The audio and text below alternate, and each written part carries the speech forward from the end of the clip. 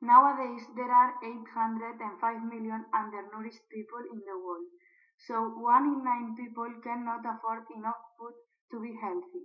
That happens because of the climate change, land grabbing, biofuel and others. The climate change is a consequence of the greenhouse effect. It happens because we pollute the air sending damaging gases such as CO2, water, steam, etc. The relation between the hunger in the world and the climate change is that climate change makes weather unstable and as a consequence there are floods and fires and that injures cultivating lands.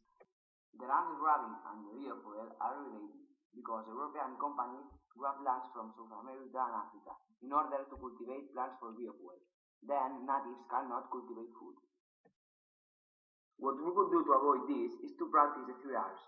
Recycle, reuse and reduce. Use the public transport and collaborate with some NGOs.